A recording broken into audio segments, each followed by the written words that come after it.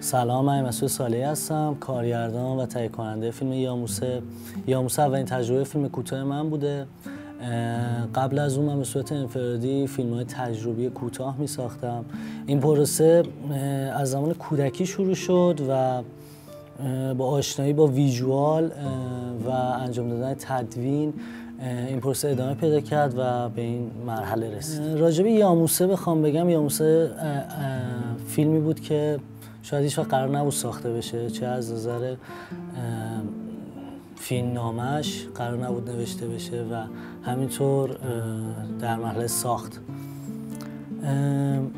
احسان منصوری نویسنده کار ایده کلی و راجع فیلم به من گفت و من خیلی مشتاق کرد چون که این فیلم چند تا چلنج خیلی جالب هم از نظر بازیگری داشت هم از نظر کارگردانی و این موضوع خیلی من مشتاق می‌کرد که بجز یه روایت ساده داستان ما بتونیم یه سری option داشته باشیم که یه فیلم جالبتر مخصوصا توی یه location خیلی بکرتر رو داشته باشیم. و این باعث شد که ما بیایم فیلم نامه رو بر اساس اون منطقه تغییر بدیم. حالا چه اطلاعات و رسم و رسومایی که از مردم اونجا می‌گرفتیم و با مشاهده زندگی اونا تقریبا دو ماه این پروسه طول کشید. ما شب و روز سعی می‌کنیم با اونا زندگی کنیم و بتونیم فیلم نامه رو بر اونجا تغییر بدیم. راجع به انگیزه بخوام صحبت کنم. خب من دنبال واقعا نوشتن یه فیلم کوتاه بودم و این کار رو ما داشتیم برای جشنواره آموزشگاه هشمی متری انجام می‌دادیم که احسان این فیلم نامه رو به من گفت داستان رو به من گفت ایده کلی رو گفت و چلنج هایی که تو این داستان بود چه از نظر لوکیشنی چه از نظر نوع روایت داستان برای من خیلی جالب آدم های اون منطقه محلی اون منطقه به شدت با ما همکاری می‌کردن. ولی خب یه سری یه سری مشکلات وجود داشت از طریق سازمان ها که اصلا همکاری نمی‌شد. چه از نظر جا برای برای عوامل فیلم و خیلی مشکلات دیگه. از اون طرف مثلا ممکن بود آب و هوا به هم بریزه. و این مشکلات هی هر روز بیشتر و بیشتر می‌شد.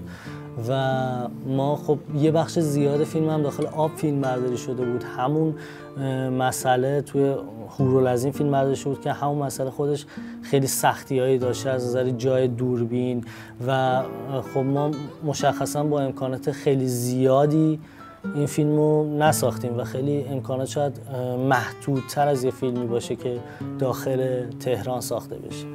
و این موضوع خودش یه سری مشکلات رو ایجاد می‌کرد. حتی مثلا مدیر تولید کار رو با اسلحه جلوش نگه داشتن و گفتن که باید حساب کتابایی بکنی و اینا. این چیزا بوده واقعا تو فیلم. حالا همشو نمیشه توضیح داد. ببین چیزی که راجع به فیلم کوتاه هست یه مسئله ای که از فیلم کوتاه به نظرم یه ذره به سمت به سمت خیلی سینمای حرفه‌ای رفته. به نظر من خود این از یه طرف یه سری آپشن داره ولی از یه طرف هم یه سری معضل ها داره که حتما باید آدم ها یه کست کاملی برای یه فیلم کوتاه داشته باشن. و این قضیه باعث میشه فیلم کوتاه از بحث تجربی شاید در بیاره. بحث اینکه یه کارگردان بتونه حالا چه دوربین دستش بگیره چه تدوین کنه و خودش یه سری کار رو هندل کنه شاید در میاره و یکم بتونه مثلا با رفیقاش حالت گروه گروه بشن و بتونن فیلم بسازن. تضادی که وجود داشت محیط محیط خیلی محیط آداپته برای فیلم نبود و محیط مستندگونه ای بود. و این قضیه چالش ایجاد می‌کرد. یه سری چیزا توی کار باعث می‌شد چالش ایجاد بشه که شاید از طرف حالا عوامل به طرف من این شکلی باشن که چرا این چیزهایی که اصلیان توی فیلم نیست وجود نداره. این قضیه به نظرم یکی از موزلایی که توی فیلم کوتاه واقعا هست که نباید خیلی به چشم حرفه‌ای نگاش کرد. و بیشتر بحث اینه که تو این قضیه البته این نظر شخصی منه تو این قضیه ما بیشتر قرار یاد بگیریم.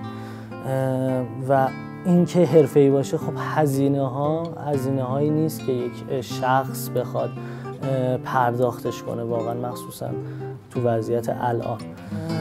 راجب چیز دیگه ای که راجب یاموسه هم وجود داره این که یه چیزی که برای من خیلی مهم بود تو یاموسه این بود که من فیلم به شکلی باشه که مخاطب صرفا با یک بار دیدن اون مخاطب راضی نکنم و تموم نشه فیلم براش. داستان گفته نشه. سعی, سعی ما این بود که حالا چه از نظر فیلمنامه که غیر خطیش کردیم چه از نظر یه سری نشونه گذاری ها یه سری دیالوگ ها سعی ما این بود فیلم دو بار یا سه بار دیده بشه و هنوز داستان هایی برای کش شدن فیلم داشته باشیم.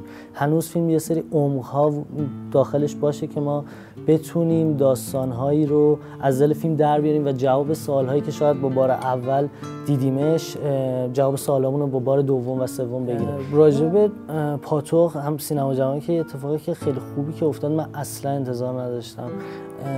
سالا انقدر پر باشه و خیلی خوشحال شدم واقعا به عنوان یه فیلمساز که مخاطب بیاد فیلم رو ببینه. چون به نظرم دیده شدن فیلمسازهایی که کار اولشونه و فیلم کوتاه می‌سازن خیلی نیاز به دیده شدن دارن. خیلی نیاز دارن که احساس کنن که فیلم داره دیده میشه. این بهشون خیلی انگیزه خوبی میده. حالا جدا از اینکه اون فیلم ساز برای جشنواره فیلم بسازه به نظرم ما هممون داریم فیلم می‌سازیم که مخاطب ببینه.